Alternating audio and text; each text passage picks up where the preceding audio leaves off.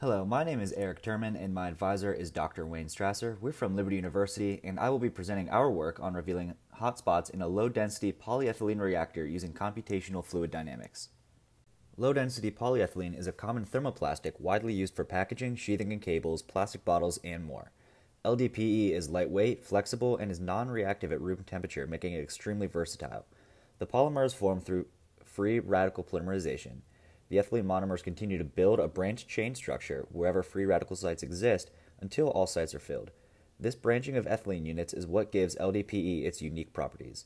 The branching effects also lead to varying viscosity and density of the polymer based on the conditions the polymer is formed in. Because the properties are so dependent on the manufacturing conditions, a CFD model was developed to better understand the process of making LDPE. The free radical polymerization process requires an environment with high pressures and temperatures. Autoclave reactors are commonly used in industrial applications to perform this process. Typical environments within the reactor can see temperatures ranging from 200 to 300 degrees Celsius. The hypothetical reactor modeled in CFD for this study is separated into four zones by zone baffles. The zone baffles are attached to the central stirring shaft. As material passes through the zone, it flows in between a gap between the baffle and the reactor wall into the next zone.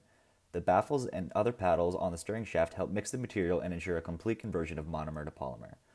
Four fresh gas feeds are fed into Zone 1 along with three catalyst feeds. Two other injectors feed catalysts into Zones 3 and 4. To ensure that the reactor model is treated similarly to how an actual autoclave reactor would be run, thermocouple geometries were modeled throughout the reactor. These allowed us to measure temperatures within the zones similar to how a real reactor functions, and it also has an impact on the flow behavior as the geometry of the thermocouples protrudes into the flow medium.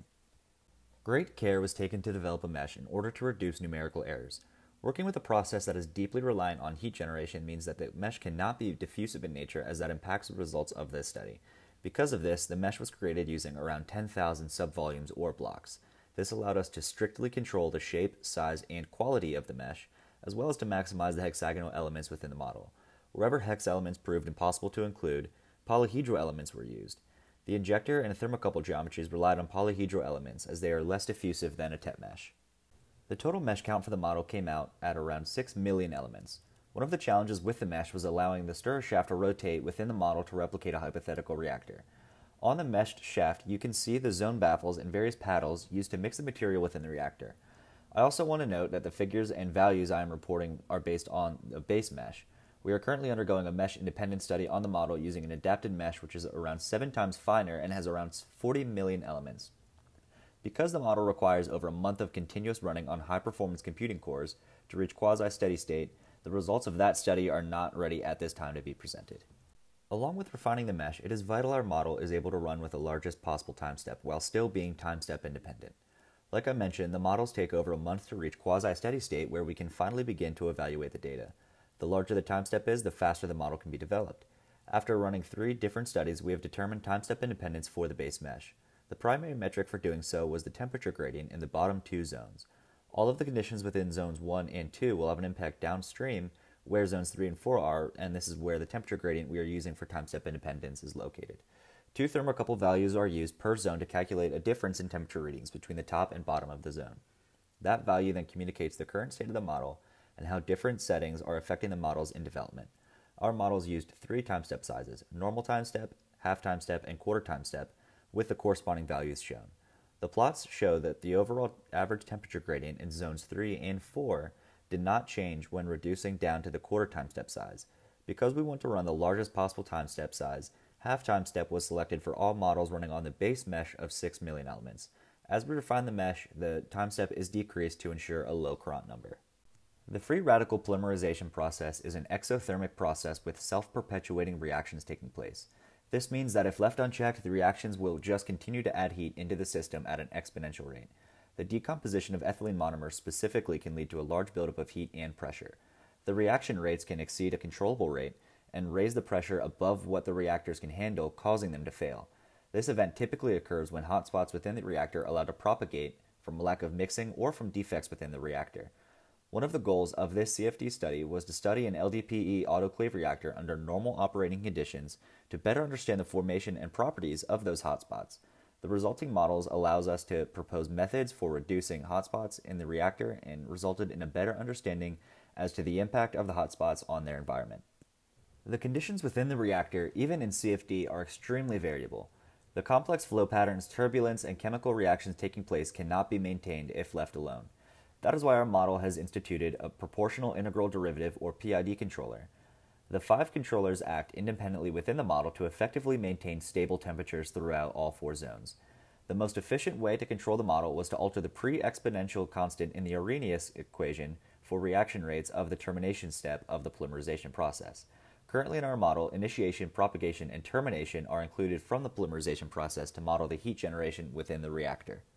By altering the constant A seen in the equation for the termination step, our model can stop polymer chains from growing, which decreases the reaction rate and energy release overall as this constant is increased. The fewer free electron sites that are available means that there are fewer reactions taking place within the reactor. This method proved faster than adjusting the mass flow rates at the injector ports, as the impact is immediately felt by the zone the controller is acting in. Each controller relies on a 60 point moving average temperature that is fed to it by a corresponding thermocouple. Along with a given set point for what the thermocouple should be reading in that zone, the controller calculates an error. The algorithm then calculates a new termination constant to reduce the latest calculated error. The plot included shows the controller successfully responding to an upset event within the CFD model as the controller errors fluctuate until eventually settling out. This process has proved effective in controlling the models requiring minimal tuning of the PID constants. I will also note that this method is physically realistic as existing literature is not able to predict the values of these termination constants and they are variable based on the environmental conditions.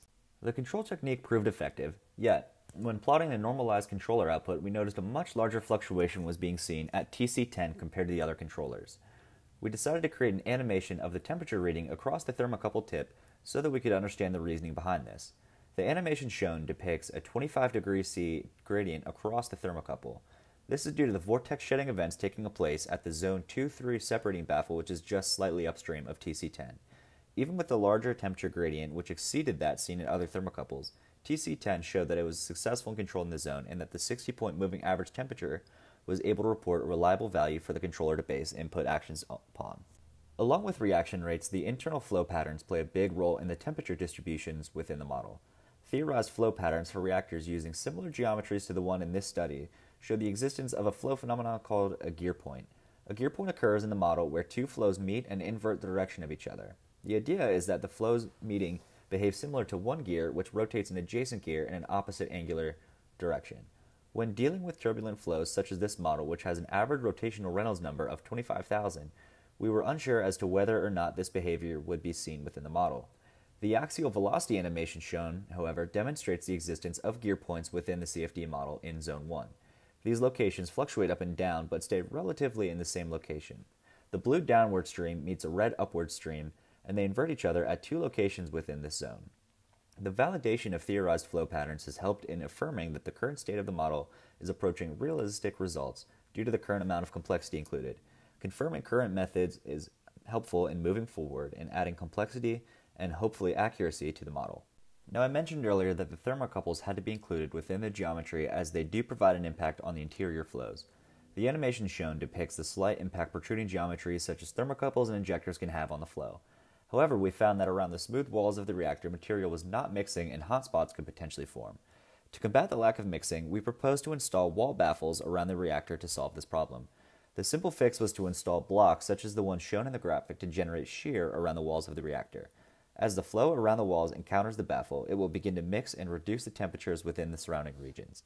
As you can see, when the wall baffles are included in the cross section, there is a profound impact on the surrounding material. Colder streams are spread by the wake of the baffle, allowing hotter regions to come into contact with colder currents. There is also the expected increase in turbulent kinetic energy in the wake, which shows the increase in mixing provided by the wall baffles.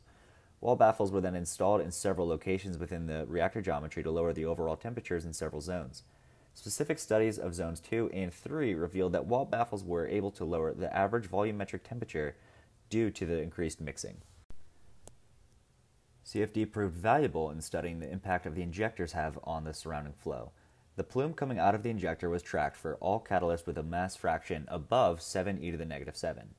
This animation shows the temperature gradient across the plume with the highest gradients existing around the nozzle. This helps us understand the cooling, reactivity, and overall penetrating behavior of the catalyst plumes within the reactor. Zone 4 within the reactor is typically the hottest as the material in this zone has had the longest residence time within the reactor. The CFD model included a user defined function to track any contiguous clump of material that was at a temperature greater than 300 degrees Celsius. Along with highlighting these volumes, the UDF also tracks statistics on the clump so that we can get a better understanding as to their impact on the reactor. Understanding their velocity, length scales, polymerization rate, and average location within the reactor yields useful information in how to prevent them.